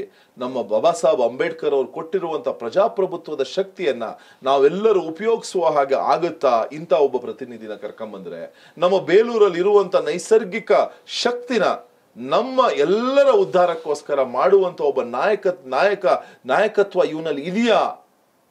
ಇವರಲ್ಲಿ ಇದೆಯಾ ಅನ್ನೋದನ್ನ ಯೋಚನೆ ಮಾಡಿಬಿಟ್ಟು ಮತವನ್ನು ಹಾಕಿ ಮತ್ತೆ ನಾವು ಈ ಸಲ ನಾವು ತಪ್ಪು ಮಾಡ್ಕೊಂಡ್ರೆ ಮತ್ತೆ ಐದು ವರ್ಷ ಕಾಯಬೇಕಾಗುತ್ತೆ. ಬೇಲೂರಿನಲ್ಲಿ ಅದೆಲ್ಲ ಶಕ್ತಿಯೂ ಇದೆ. ಹಾಗಾಗಿ ಒಂದು ಕರೆಕ್ಟ್ ಆಗಿರೋ ಒಬ್ಬ ನಾಯಕನ್ನ ಸೆಲೆಕ್ಟ್ ಮಾಡೋಕ್ಕೆ ಸುವರ್ಣ ಅವಕಾಶ ಇನ್ನು ಎರಡು ತಿಂಗಳಲ್ಲಿ ಬರ್ತಾ ಇದೆ. ಆ ಸುವರ್ಣ ಅವಕಾಶವನ್ನು ದಯವಿಟ್ಟು ಸ್ವಾಭಿಮಾನದಿಂದ ಯೋಚನೆ ಮಾಡಿ ಅದಕ್ಕೆ ಹಾಕಿ ಅಂತ ನಾನು ಹೇಳಕ್ಕೆ ಇಷ್ಟಪಡ್ತೀನಿ. ಪಾರ್ಟಿಯಿಂದ ಯಾರಿಗೆ ಟಿಕೆಟ್ ಆದರೂ ಕೂಡ ಚುನಾವಣೆ ಮಾಡ್ತೀರಿ. ಡೆಫಿನೆಟ್ಲಿ ಪಾರ್ಟಿ ನನ್ನ ತಾಯಿ ಇದ್ದಂಗೆ. ಪಕ್ಷ ಗೆಲ್ಲಿಸ್ತೀರಿ. ಹಂಡ್ರೆಡ್ ಪರ್ಸೆಂಟ್ ಕಮಲ ಅರಳೆ ಅಳುತ್ತ ಬೇಲೂರು ಪ್ರಗತಿ ಆಗೇ ಆಗುತ್ತೆ. ಯಾಕೆಂದ್ರೆ ಈ ಇವತ್ತು ಜನ ಯಾರುವೆ ಹರ್ಷದ ಕುಳ್ಮೇಲೆ ನಂಬಿಲ್ಲ. ಅದೇನೋ ಆ ಸಮಯಕ್ಕೆ ಬಂದು ದುಡ್ಡು ಸೀರೆ ಇನ್ನೇನೇನೋ ಕೊಟ್ಟಿ ಓಟ್ ಹಾಕ್ಸ್ಕೊಂಡ್ಬಿಡ್ಬೋದು ಅನ್ನೋ ಒಂದು ನಂಬಿಕೆಯಲ್ಲಿ ಯಾವ ಜನನೂ ಇಲ್ಲ. ಅವರೆಲ್ಲರೂ ಎಲ್ಲರೂ ನನ್ನ ವರ್ಷದ ಕೂಳು ಯಾವ ತರ ಇರುತ್ತೆ ಅನ್ನೋದನ್ನ ಯೋಚನೆ ಮಾಡ್ತಾರೆ. ಒಂದದು. ಇನ್ನೊಂದು ನಾನಂತೂ ಹತ್ತು ವರ್ಷದಲ್ಲಿ ಬೇಲೂರನ್ನ ಒಂದು ಮಾದರಿ ತಾಲೂಕಲ್ಲಿ ಇಡೀ ದೇಶದಲ್ಲಿ ಒಂದು ಮಾದರಿ ತಾಲೂಕಾಗಿ ಮಾಡೋದ್ರಲ್ಲಿ ಕಂಕಣಬದ್ಧವಾಗಿದ್ದೀನಿ. ಬೇಲೂರು ನನ್ನ ಕರ್ಮಭೂಮಿ ಅಲ್ಲಿ ಎಲ್ಲ ಪ್ರಯತ್ನವೂ ಒಂದು ತಪಸ್ಸಿನ ರೀತಿ ಮಾಡ್ತೀನಿ ನಾನು. ಖಂಡಿತ. Hundred percent. ಎಸ್ ವೀಕ್ಷಕರೇ ಬೇಲೂರು ವಿಧಾನಸಭಾ ಕ್ಷೇತ್ರದ ಬಿಜೆಪಿ ಮುಖಂಡರು ಬೇಲೂರಲ್ಲಿ ಬಿಜೆಪಿ ಗೆಲ್ಲದೆ ಗೆಲ್ಲುತ್ತೆ ಗೆಲ್ಲಿಸ್ತೀವಿ ಬಿಕಾಸ್ ಆಫ್ ಪಕ್ಷ ಸ್ಟ್ರಾಂಗ್ ಆಗಿದೆ ಅದನ್ನು ಕಟ್ಟೋ ದಿಸೆಯಲ್ಲಿ ಕೆಲಸ ಮಾಡ್ತಾ ಇದ್ದೀವಿ ಯಾವ ಕಾರಣಕ್ಕೆ ಬೇಲೂರು ಜನ ಬಿಜೆಪಿಗೆ ಓಟ್ ಹಾಕಬೇಕು ಅಂತಂದ್ರೆ ಕೇಂದ್ರ ಸರ್ಕಾರ ಹಾಗೂ ರಾಜ್ಯದಲ್ಲಿ ಒಂದೇ ಸರ್ಕಾರ ಇದ್ದಾಗ ಹೆಚ್ಚು ಪ್ರಗತಿ ಆಗುತ್ತೆ. ಅದರಲ್ಲೂ ಕೂಡ ನನಗೆ ಅವಕಾಶ ಸಿಕ್ಕಿದ್ರೆ ಇನ್ನು ಹತ್ತು ವರ್ಷದಲ್ಲಿ ಬೇಲೂರನ್ನ ನಾನು ಕನ್ಸು ಕಂಡಿದ್ದೀನಿ ಹತ್ತು ವರ್ಷದಲ್ಲಿ ಬೇಲೂರನ್ನ ಹೇಗೆ ಅಭಿವೃದ್ಧಿ ಮಾಡಬೇಕು ಆ ದಿಸೆಯಲ್ಲಿ ಅಭಿವೃದ್ಧಿ ಮಾಡ್ತೀನಿ ಅನ್ನೋದು ಸಂತೋಷ್ ಕೆಂಚಾಂಬ ಅವರ ಒಂದು ಲೆಕ್ಕಾಚಾರ ಮತ್ತೆ ಅವರ ಏನು ವಿಷನ್ ಇದೆ ಏನು ದೂರದೃಷ್ಟಿ ಇದೆ ಅದನ್ನು ತಿಳಿಸಿದ್ದಾರೆ. ಸಮಯ ಕೊಟ್ಟರೆ ನಮ್ಮ ಸ್ಟುಡಿಯೋಗೆ ಬಂದ್ರಿ ಮಾತನಾಡಿದ್ರಿ. Thank you so much sir ಒಳ್ಳೆ ಧನ್ಯವಾದಗಳು. ಎಸ್ ವೀಕ್ಷಕರೇ ನಿಮ್ಮ ಕ್ಷೇತ್ರದಲ್ಲಿ ಒಳ್ಳೆಯವ್ರನ್ನ ಆಯ್ಕೆ ಮಾಡಿ ಯಾವುದೇ ಪಕ್ಷ ಆಗಿರಲಿ ಒಳ್ಳೆಯವ್ರಿಗೆ ಒಳ್ಳೇದಾಗತ್ತೆ ಅನ್ನೋ ಕನ್ನ ಭರವಸೆ ನಾನು ಇಟ್ಕೊಂಡಿದ್ದೀನಿ. ಒಳ್ಳೆಯವ್ರನ್ನ ಆಯ್ಕೆ ಮಾಡಿದಾಗ ವಿಧಾನಸೌಧದಲ್ಲಿ ಯೋಗ್ಯರು ಕೂತ್ಕೋಬೇಕು. ವಿಧಾನಸೌಧದಲ್ಲಿ ಅಯೋಗ್ಯರು ಕೂರಬಾರ್ದು. ಸೊ ಹಾಗಾಗಿ ಯೋಗ್ಯರನ್ನ ಆಯ್ಕೆ ಮಾಡಿ ಅಂತ ಹೇಳ್ತಾ ಯಾಕೆ ನಾನು ಪ್ರತಿಯೊಂದು ಸಂದರ್ಶ ಕೂಡ ಇದನ್ನು ಹೇಳ್ತೇನೆ. ಯಾವುದೇ ವಿಚ ಯಾರೇ ಆಗಿರಲಿ ನೀವು ನಿಮ್ಮ ಕ್ಷೇತ್ರದಲ್ಲಿ ಯೋಗ್ಯರನ್ನ ಆಯ್ಕೆ ಮಾಡಿ ಅಂತ ಮನವಿ ಮಾಡ್ತಾ ನಾನು ಇವತ್ತಿನ ಸಂದರ್ಶನ ಮುಗಿಸ್ತೇನೆ. ನಾಳೆ ಮತ್ತೊಬ್ಬ ಅತಿಥಿಯೊಂದಿಗೆ ಈ ಒಂದು ಲೀಡರ್ ಕಾರ್ಯಕ್ರಮದಲ್ಲಿ ಬರ್ತೇನೆ. Thank you so much sir once again ತುಂಬ ಧನ್ಯವಾದಗಳು. ಕರ್ನಾಟಕ ಟಿವಿ ಇದು ಕನ್ನಡಿಗರ ಧ್ವನಿ.